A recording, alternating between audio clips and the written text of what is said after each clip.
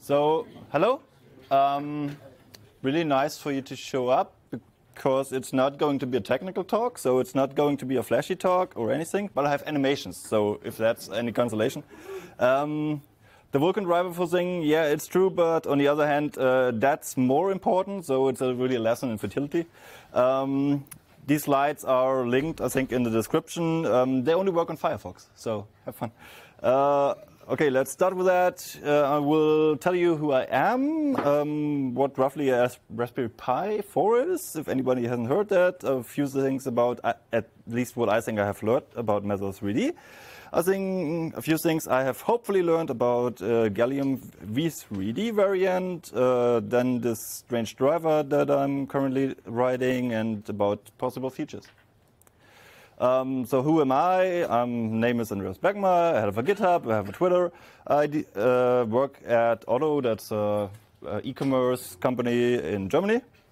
Um, and back in 2017, I've worked at uh, in in games. So we did this this game and this game. Um, you see down here uh, the platforms were Android and Horizon, which is basically Nintendo Switch. Um, and the interesting thing is, uh, for both these platforms, uh, you in 2017 you could write uh, your games in, or you could render in Vulkan. So that's what actually these games did. So you had here uh, a big Vulkan layer where you uh, would render out, and uh, for Horizon it's a little bit different. the Vulkan layer is a little bit smaller, and you have this NVN, which is specialized, and I think NVIDIA variant. Um, yeah, and we shipped that, and you can play this game now on Android and uh, on the Switch if you want. Um, and that's when I personally got into Vulkan or got introduced to Vulkan. Um, we were, I think, one of the first Vulkan games that were out there. And um, yeah, so what I'm doing now, I mean, uh, there's the Raspberry Pi 4. Um, so what I'm doing on the user space, uh, what I need to do basically, I need to make a C ABI, which uh, the help of Mesa, um, which uh, implements all the things that uh, Vulkan driver would uh, assume.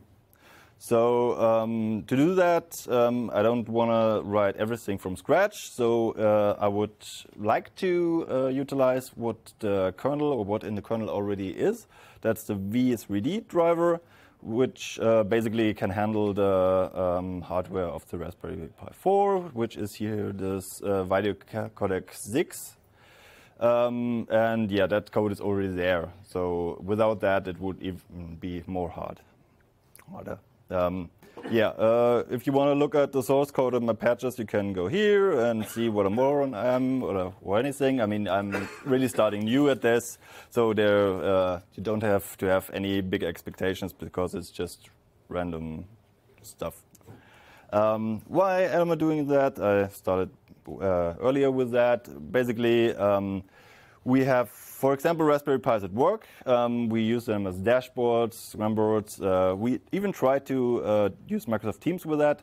And what you really notice with um, Raspberry Pis or the smaller PCs, if you will, is they don't have too much of power. So every bit of power that you can have, um, be it in the GPU or CPU, you want to have. So um, personally, I would say it would be perhaps really beneficial to have Vulkan to get uh, all the overhead from OpenGL out. But that's just a theory. I don't know whether this is actually good.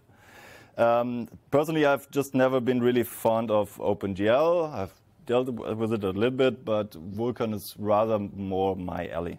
But it's more explicit. Um, I've from experience, I've most experience in C++, Go, and uh, C. So basically, uh, that makes writing um, for Mesa, I think, doable. Um, and I have uh, currently uh, a little bit more than one hour of commute uh, every day, so I have free time with my hands. So hey, why not? Uh, in the future, of course, uh, the the HIP talk we will hear. Here I think tomorrow uh, there's some web GPU and people try to do some abstractions. uh, if I heard this correctly, on top of Vulkan, for example. So maybe it will be a web GPU on on Raspberry. Who knows? Uh, yeah, Raspberry 4, I mean, was released 2019, has these two HDMI outputs now, is a little bit more beefy. Um, everybody has heard every complaint about it, so uh, I will not uh, repeat that here. Um, basically, uh, it should be able to support Vulkan 1.1. Um, the CPU can actually do uh, 64 bits. Um, the video core cannot, as far as I know. So um, uh, currently, um, I even have uh, 46 bits of the driver. Um, I've not tested them yet, but I would assume that there might be some problem somewhere because uh, people just assume that uh, int is 32 bits or whatever. Um, who knows? Or vice versa. And basically, the the video core is a tile renderer, so we have the spinner thing, which goes uh, to the renderer, and you render a tile out. I'm not the expert. Uh, I, not a single expert. I mean, experts are sitting here probably who can explain it way better than me. So, um, and I thought, uh, what do I, or what did I have to learn? And that's basically summed up here. So I started looking at that, at the new hardware, and was saying, okay, what is what's already there in terms of software, infrastructure, whatever. So you have here the, the V3D. Uh, Eric is maintaining that. Um, you have the VC4 for the uh, VideoCore 4, which is the Raspberry Pi 3. Um, I think Eric is maintaining that, but I have no idea, quite frankly. Um, and then it gets interesting because if you look at the performance testing uh, at Khronos, there is actually a Broadcom driver in there. Uh, and Broadcom, uh, I have this from good sources that they internally really have a Vulkan driver, but apparently they have no plans on releasing that to the public. So I don't know. Okay, um, that one, I mean, that's what I am doing. I named it V3D, VK, um, and I'm basing that on uh, Mesa 3D. There is the other one, uh, which Eric started um, before he left, I think, uh, Broadcom, uh, and he named that V3DV, I think. Um, it's also based on Mesa, um, but didn't really compile as far as I remember. And for the uh, the older hardware, there's RPI VK. Um, I don't know what the, the, name of the guy is, but at least um, he continuously every few months does something on that and yeah makes some progress i guess. So uh, that's currently what the, the, landscape we have. Um, and more to that later. Uh, yeah so what did i learn from Mesa 3d um, I think, and I can be wrong, uh, the, the, biggest part of Mesa seems to be Gallium, which is basically the, the OpenGL um, uh, yeah, driver or variants. I don't know how to, to describe that. Um, there is a bit of infrastructure for Vulkan. It's not uh, nearly as much as for Gallium. Um, might be intentionally, I don't know. Um, the, the big problem is um, you cannot really differentiate currently it's between common, between Gallium, and between Vulkan because uh, it's uh, the code feels like it uh, grew hysterically. Um, so uh, basically means that uh, a lot of common uses gallium. So you do, uh, it's really hard to write your Vulkan code um, without putting gallium in it. So um, I think there's some cleanup uh, on the way currently, but currently it's not really clean. So um, uh, and that reflects in in the build system. Uh, yeah, Gallium V3D supports VideoCore 6, so Eric did, as far as I know, all the necessary uh, changes to have basic support. So, um, which is really good for me because I can look at the code and try to figure out what it does and port it then to Vulkan. Um, and I already said, oh, without gallium, it's really hard uh, to get uh, gallium out, let's say. Uh, genau. Uh, Vulkan infrastructure. Um, what I noticed is Vulkan drivers have a monolithic uh, your driver private H. I don't know what the reason for that is, uh, but it's not nice uh, for people like me who have a small Haswell CPU and have to recompile a whole driver each time. Um, so I did not follow that approach. I have smaller headers um, because I cannot really, I mean, I have limited time every day. Um, having big headers is, I don't know, might have some reason, but it's not uh, the reason I understand. Um, and sim finding symbols in this gigantic header is not really fun. Um, the, the last uh, infrastructure thingy I saw was that uh, the formats um, are now moving out of Gallium into the common. Um, I think uh, not everything is outside of Gallium yet, but it's slowly moving, so it's getting it's getting better. That's the good thing. Um, and I complained already today, I will complain again. Um, the problem I at least had and have to a certain degree with Mesa is it feels like a cult. So if you're in that, that's great. Um, but if you're new to that, you have a problem because uh, there is all the things you need to do or you would like to do. It's not described, or you just need to be in it, and uh, it's really hard to get in it. Um, but also, I think uh, people are getting aware of that a little bit more. Um, then there's this build system. Um, I'm wearing the, the Bazel shirt, not because I think Bazel is so bad, because I think Bazel is way better than Meson. But uh, here, Meson is probably okay, um, but it's just not great. Uh, isolation and all those things. Um, you really see that uh, it's not as clean as it could be. Um, on the other hand, it works, so yeah, we have to deal with that. So, um, aside from the, the gallium v3D part, um, there's also uh, a part where uh, is a general Broadcom library, which is not uh, in gallium.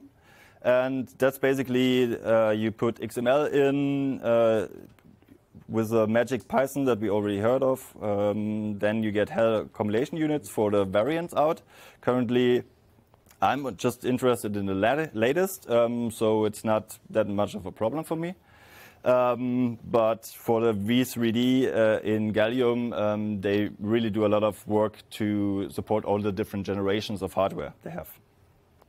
Um, problems, uh, you have problems documented in the code. If you're really interested in how the hardware behaves, it's uh, here and there and everywhere, basically. So um, basically, what you ha will have to do um, to really understand it, and I try at least, uh, is to read through all the, the source code and try to really pick up all the nitty gritty that uh, some uh, developer documented. Um, and I'm not sure, I couldn't really find it. There's different documentation uh, how ready compute already is or not, um, and I still have to figure that out for V3D. Um, for Gallium, so that's the next layer, basically, which uses the, the Mesa library. Um, this is, I think, a pretty standard Gallium um, variant. Um, I don't know, I don't understand everything from Gallium, so bear with me. Um, the only thing that I found, found uh, kind of notable is uh, that they have some macro abstraction for uh, setting the, the, in this case, is the, the binner commands um, where you're not um, setting the, the single uh, bytes, but you rather go ahead and set uh, set the structures, and then it's a macro magic that uh, converts that to the, the actual bytes. Um, under the hood, it uh, also handles the variants, so uh, hardware specific things, and to me, it makes the code more readable. Um, it uh, kind of trusts that the compiler does enough optimizations for that to go away. I'm not sure. I don't trust compilers so that much. Um, but it's, it's okay, I think. Um, the other uh, really beneficial thing is, uh, to me at least, who, who gets uh, new into the, the whole topic, is that I can uh, read the code more easily, I think. And that's really beneficial if you compare it with Freedreno, uh, and they do, as far as I know, manual bytes, and uh, it's a little bit clumsy to read for, at, for them. The cons are, to me, uh, yeah, the, the, macros. I had a bug once in, in that code or around the code, and debugging with that or tracing um, is not so fun, but it's doable. So yeah. Um, there's maybe some performance on the table, but I, I don't know. I haven't measured. Um, and uh, OpenGL is this dirty flag, implicit effect, uh, effect handling, uh, missing parallelism at times, for v3D at least. Um, that's just, uh, I think, OpenGL uh, implementations. So it's not really that bad, but it could be improved. And Vulkan is, if not anything, to improve on OpenGL. How did I start? Uh, um, basically, at least I decided where to steal code. Um, I steal code. Um, I implement what uh, I need to change, and I jump back to two. So I steal one. So basically, um, if you look at the drivers, everybody is stealing from everybody. Um, I think ANV was the first one. It's the first Vulkan driver, and we're slowly copying code and trying to make it a little bit better at each iteration. Um, and that works not that bad. Let's put it that way. Uh, it's not original, but hey. Um, myself, so um, at times uh, I got sick of writing code, and then I was like, oh yeah, let's do a SCM platform or the, the CI. So I have uh, in GitHub, uh, I release uh, snapshots. I have SSH to test. I have the, the CTS, um, which I run periodically. And I have a CI on Cloud Build because I don't really know how to interact with the whole uh, GitLab CI. Um, perhaps I should look into that, but uh, yeah, uh, works pretty great in Cloud Build. Um, so the timeline is roughly, so I started in, I don't know, um, probably somewhere summer. Um, then in the, around here I had uh, the Vulkan info running, so the basic infrastructure uh, for reporting the features and things. Um, I had a first CTS passing in October. Um, then uh, somewhere in November I set up my CI. Uh, few days after that, I released just snapshots, and there's just no really sense, or not that sensical, let's put it that way. And somewhere in, in January, I had at least uh, 64 CTS uh, passing, so that's not great, but it's enough uh, for me, let's put it that way. Um, meanwhile, also had uh, to prepare a talk here. Um, I, uh, if you uh, remember, I uh, began working with the ANV as a, a template. Um, I switched to Turnip uh, instead because uh, ANV has uh, already a lot of uh, optimizations and uh, they are hard to translate to my hardware. So I rather need or rather use Turnip now as my base. Um, and currently I'm trying to figure out how compute shaders work, whether the infrastructure is already there or not and that will keep me busy uh, for some time, I guess. The roadmap. Uh, the one or the other will have read about uh, Igalia. So they are working since, I think, two months or more um, on their own variant of the, the Vulkan driver. Um, we already talked uh, together and uh, we will try to figure out how other people might uh, work on their drivers. So um, it might be the case that I'm throwing all the code away that I wrote. That's possible. Um, uh, if we are really lucky, then we might be uh, interested or able to implement or move some of the code uh, to them. Um, but nevertheless, I hope uh, the, the road forward is still um, more coding, getting the, the driver uh, into better shape. And yeah, for me, it's just um, test suites, uh, getting them to run, and uh, some point hopefully have a driver. On the CTS, uh, I would personally be really interested about having a mapping between uh, the tests and the API calls. So you could uh, tell, okay, all API calls uh, from, I don't know, creating pipelines or anything are done. So that part of the, the API is just should work as intended. So uh, yeah, and with that, I try to breeze through all of that. Um, and uh, now questions, please. Where is Raspberry Pi? Sorry? Yeah. And uh, you, you Pi, but uh, uh, uh, yeah. That was good. Yeah. Do you have a demo? No. No, I could. Uh, what I could do is uh, I could uh, show you, if all goes well, how the the CTS runs, but that's not really interesting. I think. So uh, no, um, on that explicitly, uh, a thing that uh, I have a different approach. So the Igalia guys, uh, if you have seen the news, uh, they have a triangle rendering. So I don't care about rendering. I only care about testing. So um, for me, it was like I don't care if I need five years for that. I don't need uh, or ten years. I just want to learn about these things. So I'm more about uh, okay, I will use the tests and try to comply with the tests and uh, try to figure out what I have to do to um, appease the test or appease uh, the APIs.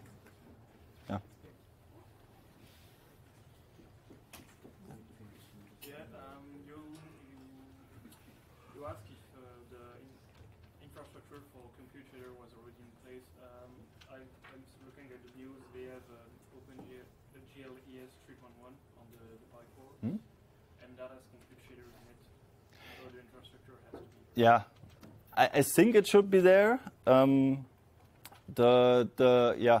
So the question, sorry, um, was uh, whether the, the CTS, or my question was whether the, the compute shader was already uh, in place. And um, the, the comment was that it has to be in place because uh, OpenGL is uh, three one one needs them anyway. Um, and I think that's correct. Um, the other way around is that the documentation is not correct. So um, probably one of the documentation uh, problems. Yeah, sure. Given the current pace of your work, how many would you say is going to be required to come up with that for the side? Um, so the question was how many many man days I have put in it. A completed driver? So um, then the question is rather uh, how long we will we probably take for a completed driver. And the, the news from um, the, the Raspberry Foundation was don't hold your breath. Um, and I think that's realistic. So um, there's pretty good chance um, that this might take a year. Um, and I think a year might be realistic since the, the Igalia guys uh, work uh, full time with two people on that.